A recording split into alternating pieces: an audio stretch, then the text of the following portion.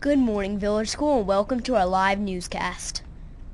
Your newscasters are Megan from Miss Trzynski, Miss Gugliotta's class.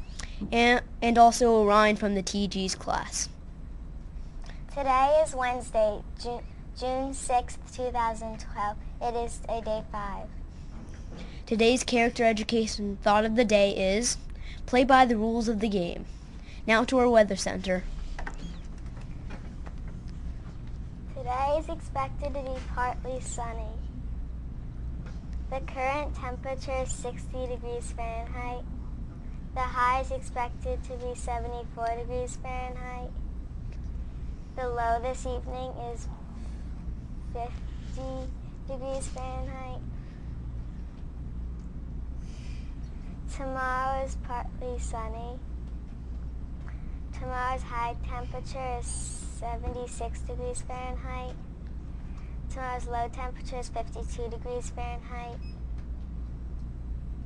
Looking at our radar, we see clear skies for a change, but there is a possibility of a shower later today. Enjoy the sun. There will be outdoor recess today. If you look up at the night sky tonight, here's what the moon will look like. The moon is about two days past full. Today's lunch will be rotini with Italian meat or marinara sauce.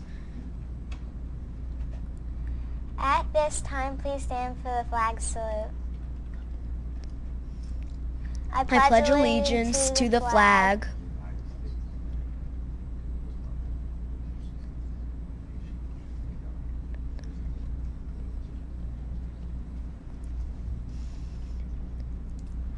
Map testing continues in the media center. So your library classes will be held in your classroom. Last night's Band 2 and orchestra concert went very well thanks to our talented students and music teachers. Teacher for the Day parties will be held this Friday. Enjoy. Friday is also a school spirit day. It's wear your shades day, so get your sunglasses ready. In other sun-related news, yesterday's Earth, Earth's planetary neighbor passed across the face of our sun. Here is a picture taken by members of the International Space Station.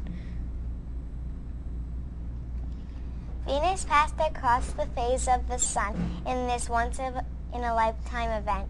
It will not happen again until 2117. Here's another picture showing the position of Venus from a start to finish. Pretty cool event if you were able to see it yesterday.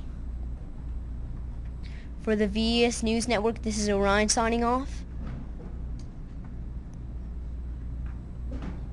And Megan signing off. Tune in tomorrow for another edition of the VES News. Have, Have a, wonderful, wonderful Wednesday. Wednesday.